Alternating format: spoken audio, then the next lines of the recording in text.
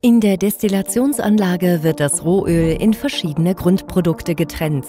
Das Grundprodukt für den Flugturbinentreibstoff Jet A1 destilliert bei einer Temperatur von etwa 200 Grad Celsius. Zur weiteren Verarbeitung wird es aus der Rohölanlage in die sogenannten Merox-Anlagen weitergeleitet. Hier wird das Kerosin zu Flugturbinentreibstoff Jet A1 veredelt und in riesigen Tanks eingelagert.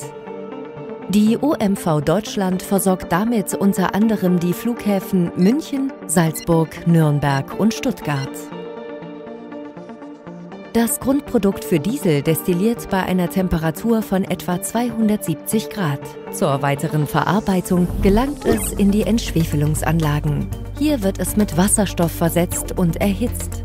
Das heiße Gemisch wird dann in einen Reaktor geleitet, wo sich Schwefel und Wasserstoff zu Schwefelwasserstoff verbinden. Am Ende dieses Prozesses steht der gereinigte Dieselkraftstoff. Der OMV-Diesel der jüngsten Generation erfüllt alle Qualitätsansprüche. Er entfernt Ablagerungen an den Einspritzdüsen und verhindert unerwünschte Verkokungen. Zudem beinhaltet er bis zu 7% biogenen Anteil und trägt somit zur Umweltentlastung bei.